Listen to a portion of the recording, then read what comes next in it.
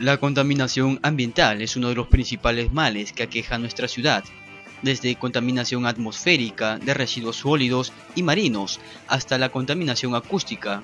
Esa es la realidad que tiene que vivir muchos de los pueblos jóvenes y asentamientos humanos de nuestra ciudad.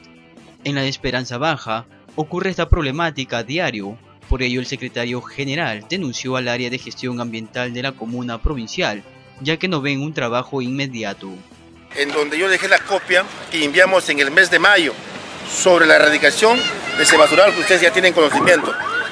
Sigue igual, es una pena. El, Nos... ayer hemos conversado del área de medio ambiente, ha manifestado que la próxima semana van a relanzar ese programa el barrio a hacer una limpieza en toda la zona norte, incluido su zona.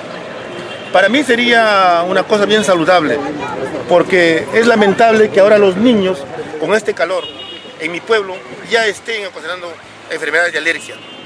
Y eso yo lo, he dicho ya al señor gerente.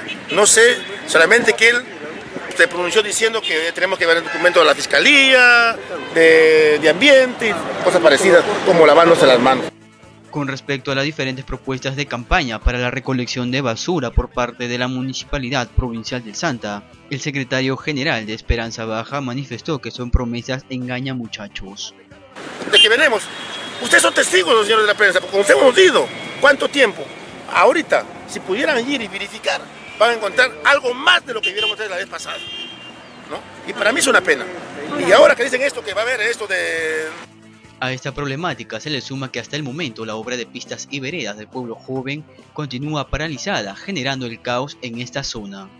Yo como secretario general de la Primavera hemos venido apoyando a los hermanos de la, Esperanza Baja, es una pena, es un lamento total y también denunciar públicamente es como esta empresa fraudulenta ha venido engañado a mis hermanos de, la, Esperanza Baja. Y lamentable que no pueden pasar ni los recolectores de basura ahora por ahí y todos se la arruman en el dicho lugar donde yo les acabo de mencionar. Han dejado las veredas a un metro de altura, como una maldad, para que el día de hoy los niños sigan sufriendo todo esto que no puede entrar un taxi.